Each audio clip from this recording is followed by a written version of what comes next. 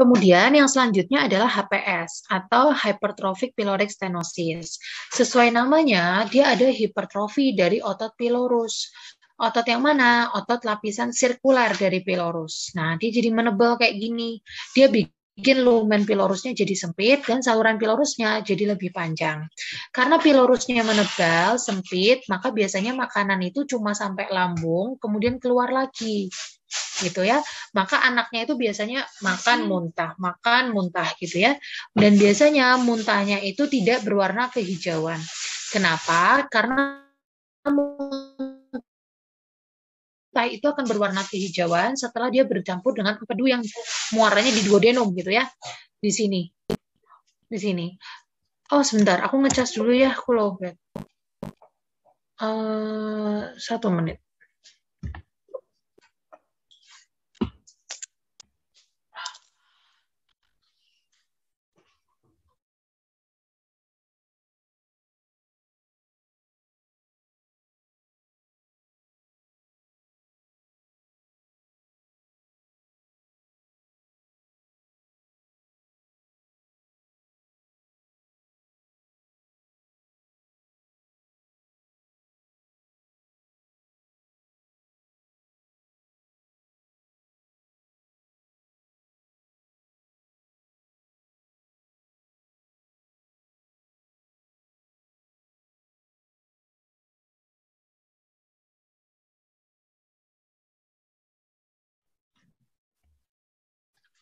Oke, lanjut ya.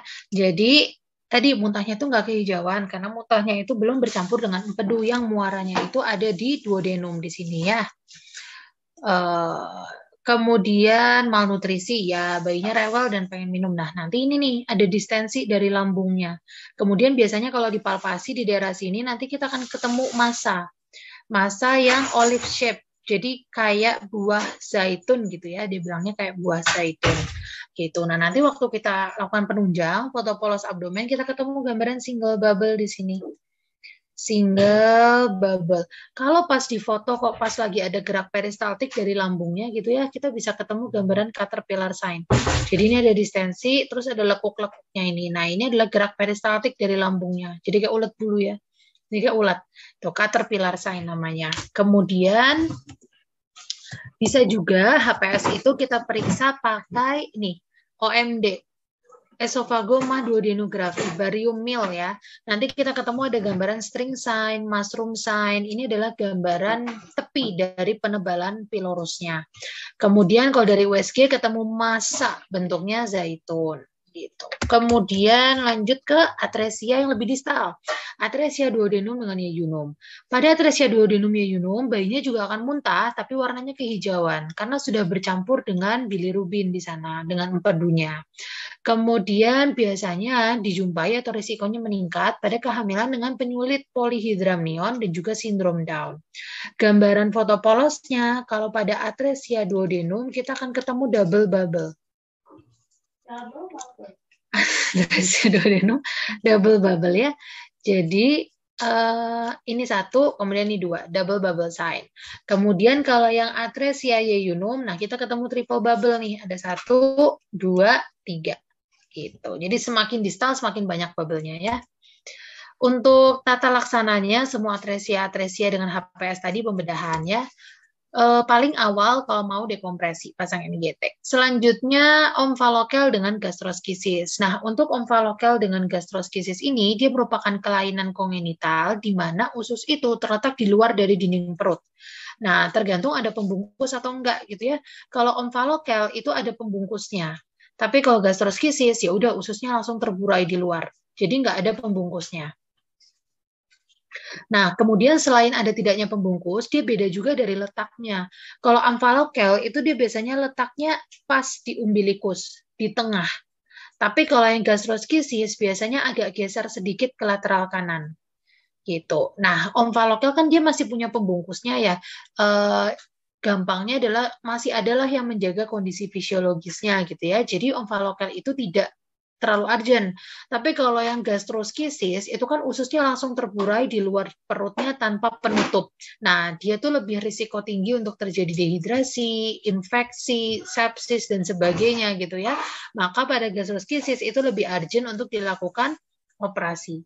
Nah, kemudian untuk uh, tata laksananya itu ada yang kita kenal dengan dry treatment dan wet treatment. Uh, prinsipnya sama, bedanya cuma di poin pertama ini aja. Pada wet treatment itu kita menambahkan pembungkus gitu. Nah, karena kita menambahkan pembungkus, berarti wet treatment ini dikerjakan pada yang nggak ada pembungkusnya, which is si gastroskisis gitu ya. Pembungkusnya ini bisa dengan kasa yang dibasahi salin hangat, atau biasanya sih lebih sering kita pakai plastik wrap yang steril, misal colostomy bag urin bag gitu ya. Nah, jadi kita tambahkan pembungkus di sana. Sisanya sih sama, resusitasi cairan, kemudian dekompresi gaster dengan NGT. Oke, yang selanjutnya adalah tadi tata laksana definitifnya operasi juga ya. Selanjutnya adalah intussusepsi. Intussusepsi atau nama lainnya adalah invaginasi. Dia adalah kondisi di mana ada sebagian usus yang masuk ke dalam usus lainnya. Tuh, nah dia ada triasnya nih, muntah, kemudian kolik abdomen ya, dengan fesesnya disertai dengan lendir darah atau namanya adalah current jelly stool. Jadi pasiennya muntah disertai dengan nyeri perut, muntah, nyeri perut, dan ada current jelly stoolnya di sana. Uh, kalau dari gambaran foto polos abdomennya, kita bisa ketemu gambaran teleskop bowel. Ini ya, gambaran usus yang ada dalam usus lain, jadi kayak teleskop ya. Kemudian pemeriksaan penunjang lain USG. USG kita bisa ketemu gambaran target sign, nama lainnya adalah bullseye atau donut sign. Kemudian di pemeriksaan fisik kita bisa ketemu gambaran massa seperti sosis yang uh, masa memanjang seperti sosis gitu ya. Tata laksananya sama karena dia sumbatan ya, pasiennya ada gejala obstruksinya, maka kita dekompresi, pasang NGT. Terus tata laksana definitifnya hmm. adalah operasi. Mau anak mau dewasa sama operasi ya. Kemudian selanjutnya adalah volvulus. Volvulus itu adalah kondisi obstruksi yang disebabkan di mana usus itu terpuntir, melintir gitu ya, lebih dari 180 derajat sehingga menimbulkan gejala obstruksi. Paling sering itu ada di kolon, sigmoid 65%, sekum 25%, kemudian kolon transversum. Tapi selain kolon, si volvulus ini juga bisa ditemukan di midgut. Jadi biasanya nanti diagnosisnya itu ada yang menyebutnya volvulus kolon dan volvulus midgut gitu ya, tergantung usus mana nih yang mengalami volvulus. Klinisnya sama, oh, gejala obstruksi ya muntah, kemudian nyeri perut. Nah, untuk gambaran pemeriksaan penunjangnya, kalau dari USG kita akan ketemu gambaran Whirlpool sign. Ini USG-nya ya, kita akan ketemu gambaran Whirlpool sign. Nah, Mungkin yang lebih sering ditanyakan adalah gambaran foto polosnya nih, gambaran X-ray-nya ya. Kalau pada uh, volvulus kolon itu kita akan menemukan gambaran Cavie Bean sign. Jadi gambaran biji kopi ini, ini adalah gambaran pada foto polos abdomen yang ditemukan pada volvulus yang kolon. Tapi kalau volvulusnya adalah midgut, itu kita ketemu gambarannya adalah corkscrew appearance. Ini ya, ini adalah corkscrew appearance. Ini akan kita temukan pada volvulus yang midgut. Gitu. Jadi USG-nya Whirlpool, kalau volvulus colon, foto abdomennya dia Cavie Bean sign, kalau corkscrew appearance itu untuk volvulus midgut. Tata laksananya sama, awal dekompresi aja, nanti selanjutnya operatif ya. Oke, kita coba soalnya nomor 16. Pertanyaannya adalah apa diagnosis yang paling tepat pada pasien ini? Seorang bayi usianya lima hari dibawa orang tuanya karena dia muntah kehijauan sebanyak dua kali. Perutnya makin besar sejak pertama kali lahir. Tanda vitalnya sih oke. Pada pemeriksaan fisik ada distensi perut disertai dengan peningkatan bisi usus. Di babygram hasilnya kayak gini. Apa diagnosis yang paling tepat pada pasien ini? Ada yang sudah jawab B, ada yang punya pendapat lain? B, B. Oke, setuju ya. Jadi ini adalah atresia duodenum. Dapat dari mana atresia duodenum? Kita lihat nih, pasiennya muntahnya kehijauan, berarti dia sudah lewat dari lambung. gitu ya. Sudah lewat dari lambung, berarti ini bukan HPS ya, bukan HPS. Kemudian kita lihat pemeriksaan penunjangnya, ada double bubble, satu, dua. Berarti ini adalah atresia duodenum. Kemudian soal nomor 17. Pertanyaannya adalah apa diagnosis yang tepat? Tuan Y masuk IGD muntah, kehijauan satu jam. Udah dua hari nggak BAB, nggak buang angin, keluhan demam dan penurunan berat badan disangkal. Pada pemeriksaan fisik didapatkan nyari tekan pada perut. Distensi abdomen, serta bising usus dan peristaltiknya menurun. Pada pemeriksaan radiologinya ada coffee bean appearance. Apa diagnosis yang tepat pada pasien ini? Muntah kehijauan ketemu coffee bean appearance. Diagnosisnya adalah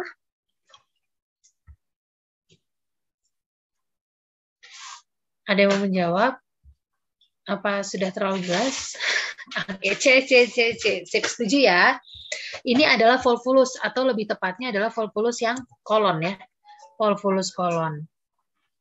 Nah, jadi dia ada muntah berwarna kehijauan, gejala obstruksi ditambah dengan cavibin appearance, volvulus kolon.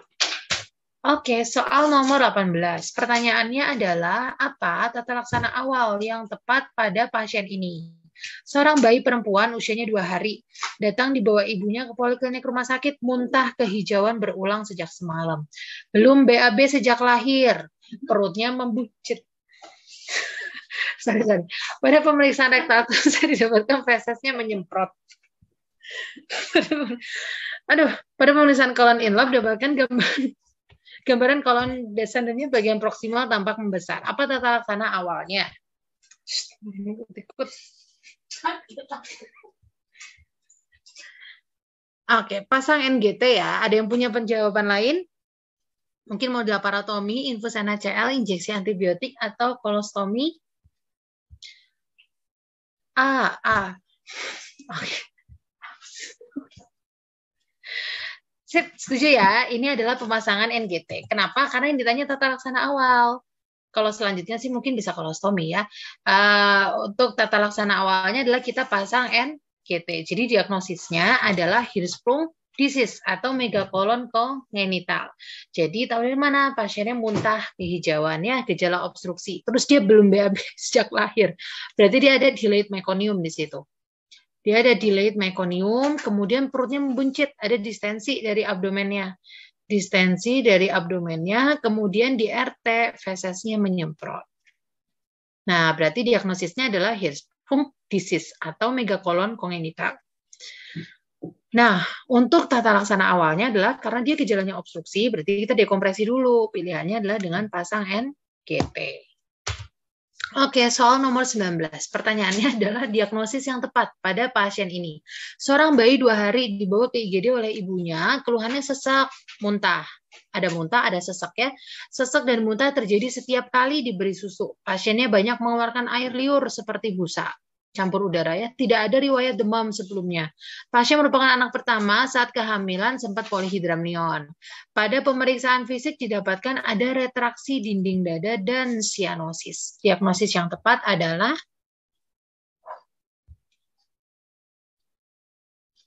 A, A. Oh, belum. Itu yang tadi. A. Ada yang punya jawaban lain?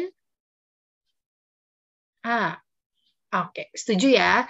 Ini adalah atresia esophagus. Mungkin kalau mau dilengkapi ditambah dengan tracheoesophageal fistule ya.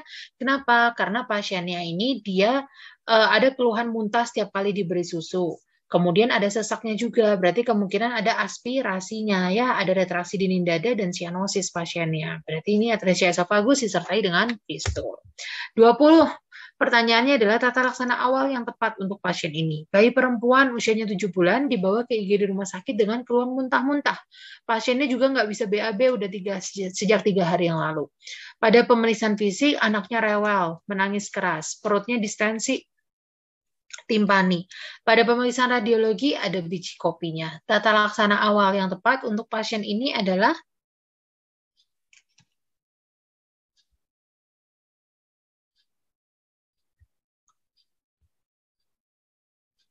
A. Ada yang punya jawaban lain?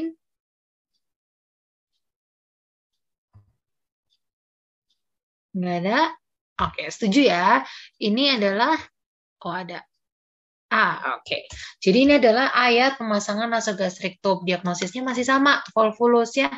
Ada gambaran biji kopi, berarti ini adalah volvulus yang kolon.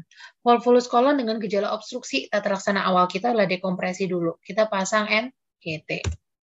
Oke, selanjutnya uh, fimosis dan parafimosis. Kita masuk ke urologi sekarang ya. Fimosis dan parafimosis. Nah, fimosis itu adalah kondisi di mana si prepusium itu dia tidak dapat ditarik ke belakang, menggembung saat kencing. Uh, tergantung ya, kalau si kulit prepusiumnya itu menutupi meatus uretranya, orifisium uretranya, ya dia menggembung saat kencing karena kan kencingnya nggak bisa keluar. Tapi kalau dia masih ringan, nggak menutupi gitu ya dari si orifisium uretranya, ya dia nggak selalu menggembung. Cuma poin pentingnya adalah si prepusiumnya tidak dapat ditarik ke belakang. Komplikasinya kan jadi kotor ya, smegma segala macam. Pasien itu jadi ISK berpulang kemudian prostatitis, balanitis, balanopostitis. Balanitis itu adalah inflamasi pada glans penis. Postitis itu adalah inflamasi pada prepusiumnya. Jadi balanopostitis itu adalah inflamasi pada glans dan prepusium. Tata laksananya utamanya definitifnya adalah dengan sirkumsisi. Ada yang merekomendasikan penggunaan steroid topikal selama 1 sampai 2 bulan dengan tujuan membuat prepusiumnya jadi lebih tipis. Kalau dia lebih tipis, diharapkan lebih mudah diretraksi. Tapi utamanya adalah sirkumsisi ya. Kemudian parafimosis. Kalau si fimosis nggak bisa ditarik sama sekali, parafimosis itu udah ketarik, habis itu dia nggak bisa balik, gitu ya. Jadi prepusiumnya itu terperangkap di belakang penis. Nah ini akan menyebabkan obstruksi aliran darah balik. Pasien yang nyeri banget bisa sampai nekrotik. Eh, komplikasinya nekrosis penis ya tata laksananya bisa dicoba mengembalikan secara manual kayak gini bentuk tangannya ya atau definitifnya utamanya adalah dengan dorsum sisi. Apa bedanya dorsum sisi dengan sirkumsisi? Sama-sama sirkumsisi atau tindakan membuang prepusium penis. Dorsum sisi adalah salah satu teknik dari sirkumsisi. Jadi di dorsum sisi itu nanti kita guntingnya dari arah jam 12 dulu, di dorsum dulu. Habis itu baru melingkar ke arah jam 3 sama jam 9. Nanti ketemu di jam 6 ya, gitu. Itu namanya dorsum sisi, tapi sama-sama sirkumsisi. Selanjutnya adalah hipospadia dan epispadia. Hipospadia dan epispadia ini dia adalah kondisi kelainan letak orifisium uretra. Epi itu gampangnya ada di atas, hipo itu lubangnya ada di bawah gitu ya. Nah, cuma kan nanti definisinya bukan atas bukan bawah ya, tapi kita pakainya adalah dorsum atau ventral. Hafalin salah satu aja biar nggak kebalik. Atas itu dorsum. Epispadia itu lubangnya ada di dorsum penis. Sedangkan hipospadia itu ada di bawah atau di ventral penis. Nah, untuk epispadia sendiri, uretranya itu tidak terbentuk tabung, tapi dia bisa kebuka kayak di gambar ini ya. Jadi nggak ada atapnya itu uretranya. Lubang uretra bisa berada di puncak kepala penis atau bisa juga terbuka di sepanjang penis atau kalau yang derajat paling berat bisa menimbulkan gangguan di bladernya juga kandung kemihnya. Sedangkan kalau hipospadia, uh, lubang uretranya ada di bawah atau di ventral penis dan ada trias hipospadia. Satu, kelainan letak lubangnya. Dua, ada prepusium yang incomplete. Jadi prepusiumnya itu dia hanya yang terbentuk di bagian dorsumnya aja. Yang bagian ventral, bagian bawah itu enggak terbentuk. Nah, prepusium incomplete cuma ada di dorsal. Kita sebutnya dorsal hood. Kemudian dia bengkok biasanya ya, kordi, kurvatura. Gitu. Nah, kemudian berdasarkan lubangnya letaknya di mana, dia diklasifikasikan ya. Ada yang hipospadia granular, subkoronal, midshaft, kemudian penoskrotal, skrotal, perineal. Gitu. Nah, kalau yang ini terapinya adalah dengan koreksi pembedahan, yang hipospadia, hipospadia dengan epispadia. Kemudian yang selanjutnya adalah BPH atau benign prostate hyperplasia. Nah, si benign prostat hiperplasia ini adalah kondisi hiperplasia dari otot prostatnya ya, hiperplasia dari prostat yang sifatnya benign atau jinak. Prostat itu kan dia ada zona-zonanya. Nah, eh, ada zona tertentu yang lebih sering mengalami kelainan pada penyakit tertentu. Misal nih, capek sama bete ya. Capek. Jadi kalau cancer itu seringnya kenanya adalah zona perifer. Zona perifer tuh yang ini yang orange ya Zona perifer tuh yang orange ini. Nah, dia kalau ada pada cancer biasanya mengalami pembesaran adalah zona perifer ini. Sedangkan kalau pada BPH itu BT, BPH zonanya adalah transisional. Transisional itu yang ungu. Yang ungu ini ya.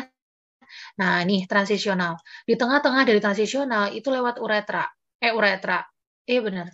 Uretra pars prostat ya, uretra pars prostat. Nah, oleh karena itu ketika zona transisional ini membesar gitu ya, maka dia akan menyebabkan desakan nih sesak uh, penyempitan pada uretranya gitu ya. Akhirnya muncullah keluhannya.